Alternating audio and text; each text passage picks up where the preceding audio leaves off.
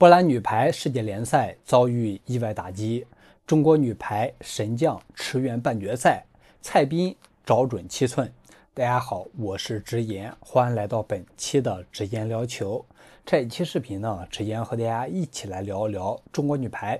聊一聊咱们中国女排在本次世界联赛半决赛正式打响之前，球队传来的一个神将驰援的消息。可以说，这一次伴随着中国女排我们的惊喜曝光之后，也是让波兰队有一些备受打击的感觉。同样呢，也是让蔡斌教练能够在本次半决赛更加有效的做出针对，能够去找准波兰队的七寸，在场上去拿捏对手。而如果你看到本条视频，也支持我的看法，不要忘了给视频点点赞、点点关注。你的点赞将会让更多关注和支持中国女排、更多喜欢蔡斌的球迷朋友能够看到这一条视频。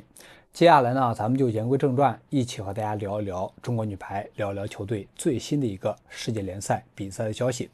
那么，首先我们都知道，目前呢，中国女排是在世界联赛总决赛当中打到了半决赛的阶段。那么在这一次比赛里，中国女排也是很好的彰显了球队实力，通过三比一击败了巴西队，能够去验证中国女排打硬仗的实力获得了上升。所以说，我们作为中国女排的球迷，也是有理由去期待后续中国女排更加亮眼的表现，去期待更好的比赛成绩。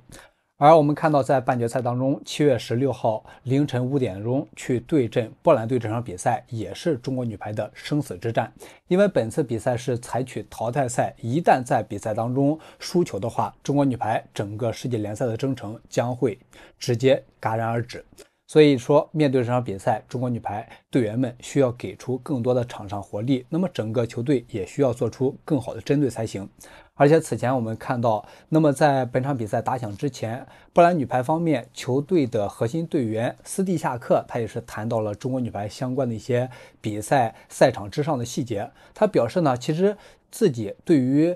中国女排也是比较熟悉，那么也是了解咱们的优点和缺点。在比赛当中将会针对中国女排的缺点而去大做文章，所以说这就证明波兰队对于这一场比赛已经是势在必得，在赛前也是做出了很好的战术分析。那么因此，咱们中国女排也应该用我们的特点去击败对手，也应该在赛前更好的做出模拟才行。而在本场比赛正式打响之前，那么蔡斌教练也是收获了一个关于战术方面的一个提升，那么同时也是让咱们中国女排一位神将的驰援，让球队注入到了更多的活力。那么这个人物是谁呢？正是时任中国排球管理中心主任的赖亚文。作为中国女排前助理教练，我们看到在这一次女排总决赛的首轮比赛当中，在对阵巴西队的比赛里，那么赖亚文他是身陷中国女排比赛场边，而且呢身上是带了一个麦克风，对吧？那么通过这样一个情况，也就证实这一次的比赛，那么赖亚文他也是非常重视，也是希望自己能够力所能及的帮助中国女排在比赛里去给出更好的一个建议，那么能够给到中国女排更多的比赛助力。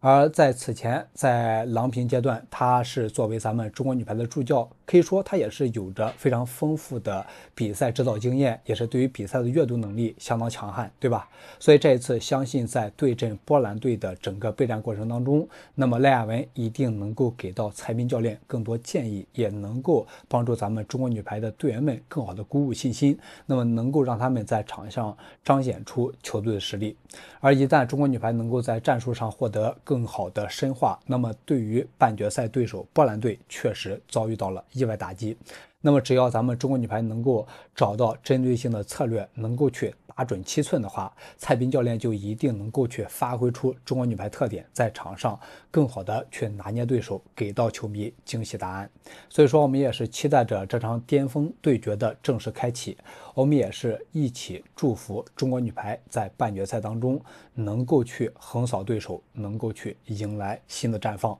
好，那么本期视频呢就聊这里。喜欢听之间聊球的朋友，不要忘了给视频点赞关注。有问题呢，也可以在视频下方给我留言讨论。体育新鲜事儿，下期咱们接着聊。